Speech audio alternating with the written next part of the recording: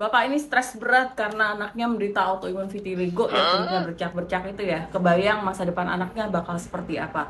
Tapi akhirnya Bapak ini ketemu solusi yang ini. Tetap di Kitab Kesehatan karena bersama Kitab Kesehatan selalu ada harapan. Saya ada di IFC ini karena anak saya sakit autoimun vitiligo. Itu dari kelas 6 SD. Waktu itu ada putih titik di jidatnya. Saya biarin selama tiga bulan. Tapi di bulan ketiga saya coba periksa ke dokter. Saya bawa ke rumah sakit Tabanan ke dokter spesialis kulit. Anak saya diponis autoimun vitiligo. Dokter mengatakan bahwa penyakit anak saya nggak bisa sembuh dan pasti akan tambah lebar. Di situ stres saya alami juga.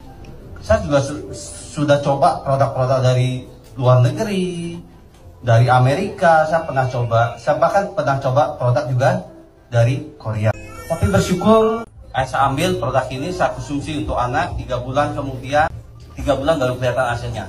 Tetapi begitu suba eh, Utsu masuk di dua tahun 2000 apa, bulan Januari saya konsumsi bulan Februari bulan Maret sebulan setelah konsumsi perubahannya sangat cepat sekali Jangan lupa follow, like, komen,